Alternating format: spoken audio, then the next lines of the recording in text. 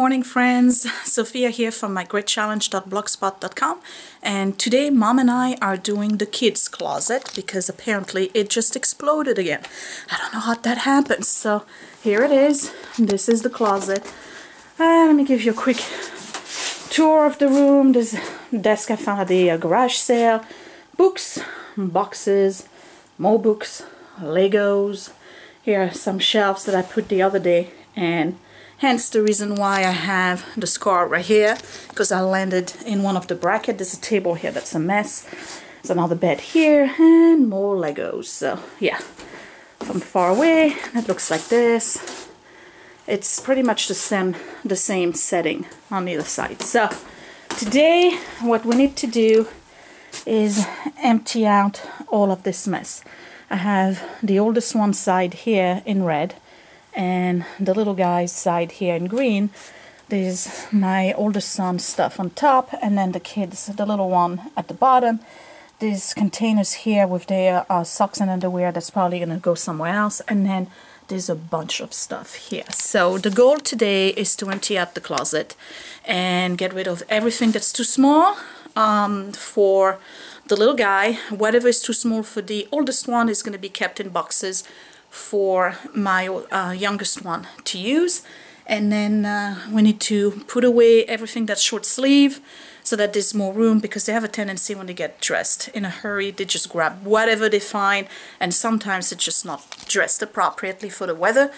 And it's kind of annoying so you got to go back upstairs and get them dressed again. So anyway I'm trying to teach them proper life skills but if you have kids you know what I'm talking about. It's a ongoing task. So Yep, uh, one of the things I'm probably to do right now is remove all of the games that are up there because they're out of sight, therefore out of mind.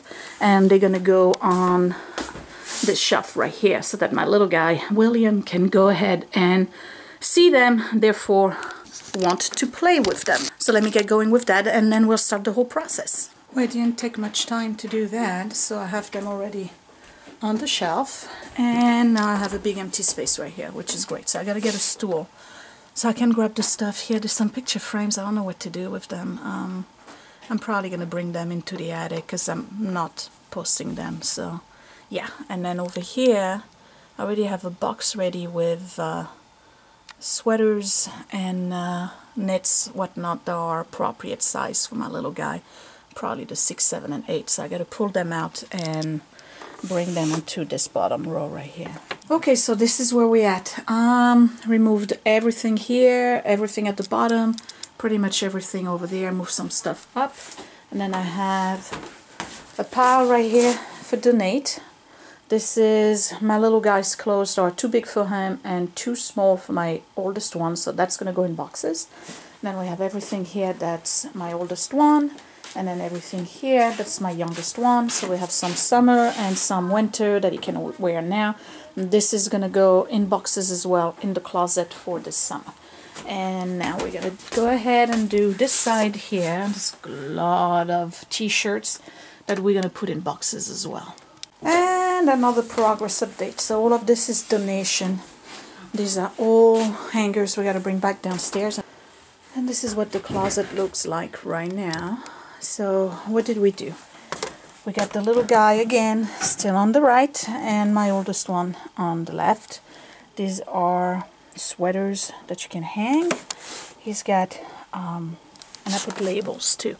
So I got jeans and sweats over here, and then these are all pajamas. And for the pajamas, what I do is that I have the pants and the top in sandwich. You see that? So that's a little package thing. So my little guy can just grab a package and he has a whole pajama set and then we have long sleeves right here and then on the top I have labels William Summer and William Summer. So these are all clothes for the summer. And I did the same thing for my oldest one. So we got all of Edward's clothes for the summer right here. And then on the other side did the same thing. We got long sleeves here. We got pajamas there. And I just realized that he only has three pajamas so we need to get some of that. And obviously he needs uh, way more clothes than his brother, which is not surprising since this one guy here gets a lot of pass-me-down. So we gotta go do some shopping and then we have jeans and pants. A lot of stuff is in um, the laundry still. And sweats are here and all of his sweaters and uh, flannel shirts are right here. So yeah you can tell there's a disparity in amount of clothes um, only again because my little guy gets all the pass me down they're still in good condition. So somebody needs to go shopping and again this is what it looks like so right now we need to do um, socks and undies and figure out where I'm going to put those boxes. I may actually put them back inside the closet. I don't know. I got to figure it out. But yeah, looks much better. It's nothing earth-shattering, but it's another one of my projects. So um, I'm glad I did that. Uh, I was kind of procrastinating, but I'm really glad I did it because it needed to be done. And all the way on top right there, I have another label. I have another label, and it says William next year, 2014.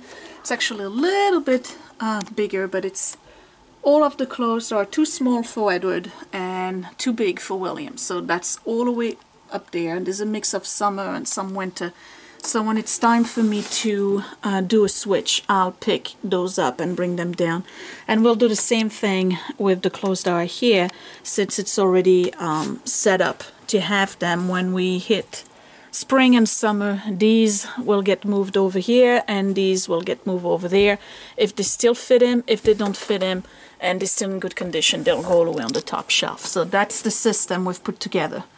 And I think it's going to work out real fine. Okay, so it's done. It took about, I don't know, an hour, a little bit over, maybe an hour and 15 minutes. Closet is completed, and then we decided to put the stuff that was inside on the outside out of the box, and this is Edward, and this is William, so the, you know, underwear and uh, socks. So this one is a little bit lower because, you know, he's shorter, being the youngest, and I'm very happy about that. It's done.